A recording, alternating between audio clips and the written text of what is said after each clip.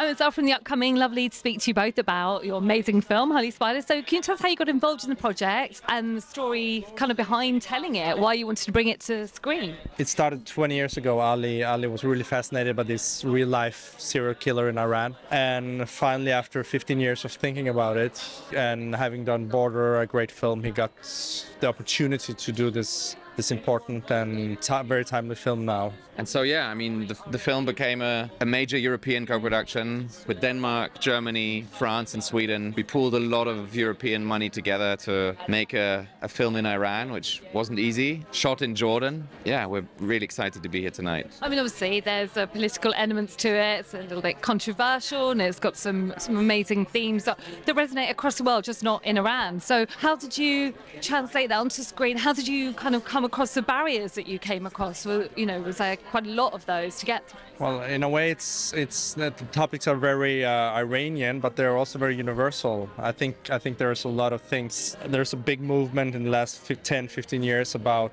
you know women rights and also about getting these things enlightened. And but now, of course, what's happening tragically in Iran, it just gives it another political dimension, another perspective to it. And it's it's a bit like it seems like nearly every country has its prostitute killer. There was a famous one here too many years ago. In a way, it's it's not only an, an Iranian theme, but of course the current events have made this film so shockingly. Uh, yeah, current. And how did you sort of go about the casting process? Because I know she was kind of the casting director to start with. So was she always kind of an immediate choice for you?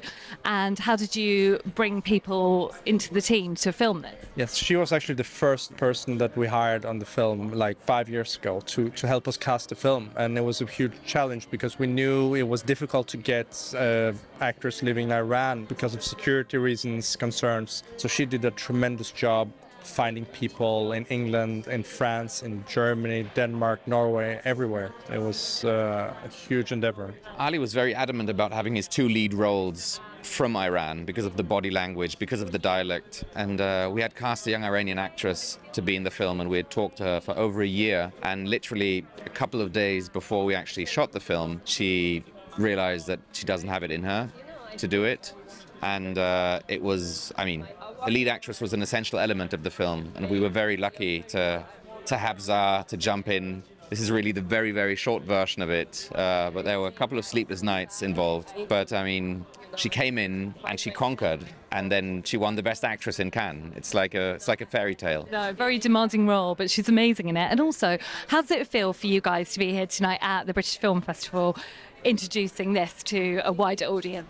I mean, uh, we've lived in the film for so long time, and each time we show it to a big audience in a cinema, it's just a great experience. You, you kind of feel how the film resonates in big audiences. It's it's amazing. Also being here in London, it's fantastic. It's it's very rewarding, and I mean, we just also got chosen as the Danish Oscar candidate. It feels like the most the most fun way to campaign, basically. And finally, what do you hope viewers will take away from this film from watching it? Well, it's a glimpse into a country that's uh, very closed down, a country that tries to manage its image uh, outside of uh, Iran very carefully, and this kind of opens up understanding of, you know, the bigger Iranian problems that are in Iran. I think in that way, it's one of the things we want people to get away with. Yeah. You put that in beautiful yeah. words. I cannot top that. Thank you very much for speaking to us. Enjoy the rest of your evening. Thank you. Thank you. Thanks a lot.